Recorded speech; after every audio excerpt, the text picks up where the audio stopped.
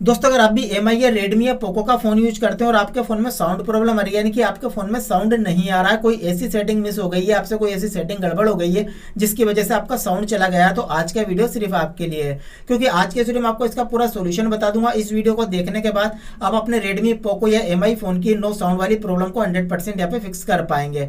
तो अगर आप भी इसके बारे में डिटेल से जानना चाहते कि अपने रेडमी फ़ोन में अगर आपका साउंड नहीं आ रहा तो उसे आप फिर से किस तरह से ला सकते हैं तो आज के इस वीडियो को बिना स्किप किए शुरू से लेकर आखिर तक पूरा ज़रूर देखिएगा। लेकिन दोस्तों, आगे बढ़ने से पहले मेरी आपसे छोटी सी रिक्वेस्ट है, अगर आप इस चैनल पर पहली बार आए हैं और आपने तक इस चैनल को सब्सक्राइब नहीं किया तो भी सब्सक्राइब कर लीजिए और बेल आइकन भी प्रेस कर दीजिए ताकि इन फ्यूचर में आप लोगों के लिए जो भी वीडियोज़ अपलोड करूँ, उसकी नोटिफिकेशन आपको सबसे पहले मिल सके।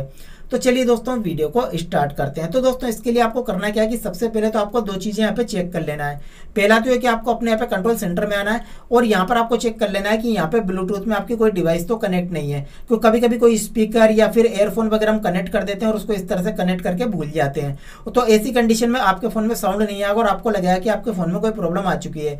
तो यहाँ से अगर कोई डिवाइस कनेक्ट है तो उसको आपको ऐसे डिसकनेक्ट कर देना है। तो आपके फ़ोन का साउंड आ जाएगा। लेकिन अगर आपकी कोई ब्लूटूथ डिवाइस यहाँ पे कनेक्ट नहीं है तो फिर यहाँ पर आपको एक ऑप्शन मिलता है कास्ट के नाम से। यहाँ पर आप देखिए यहाँ पर आपको एक कास्ट के नाम से ऑप्शन मिलता है। इससे क्या होता है दोस्तों अगर आपने अपने फ़ोन को अपने एंड्रॉइड टीवी से कनेक्ट किया है और उसको आप डिस्कनेक्ट करना भूल गए तो, तो भी आपका फ़ोन कनेक्ट होने की वजह से आपके फ़ोन में किसी तरह का साउंड सुनाई नहीं देगा। इसलिए सबसे पहले ब्लूटूथ डिवाइस चेक कर लीजिए उसके बाद कास्ट को चेक कर लीजिए। अगर अब भी आपके फ़ोन की साउंड नहीं आ रही है तो अब मैं आपको बताता हूँ कि आपको क्या चेक करना है।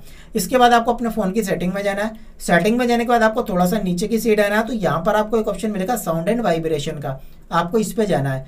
इस पे जाने के बाद सबसे पहले तो यहाँ पर आपको नीचे तीन वॉल्यूम मिलते हैं तो इन तीनों वॉल्यूम को आपको यहाँ से फुल कर देना है। इस तरह से आपको फुल कर देना अगर इसमें से कोई भी वॉल्यूम आपका क्लोज हो रहा होगा, कम हो रहा होगा तो भी आपको साउंड सुनाई नहीं देगा।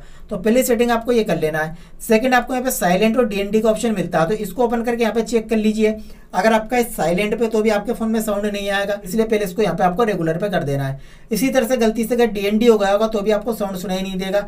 तो यहाँ पे आपको चेक कर लेना है कि आपका फ़ोन डीएनडी या साइलेंट पे तो एक्टिवेट नहीं हो गया है। अगर यहाँ पे किसी पे एक्टिवेट है तो आप इसको रेगुलर पे कर दीजिए। बस इतना सा सेटअप आपको कर लेना है। इसके बाद आपको अपने फ़ोन को एक बार रिस्टार्ट कर लेना है।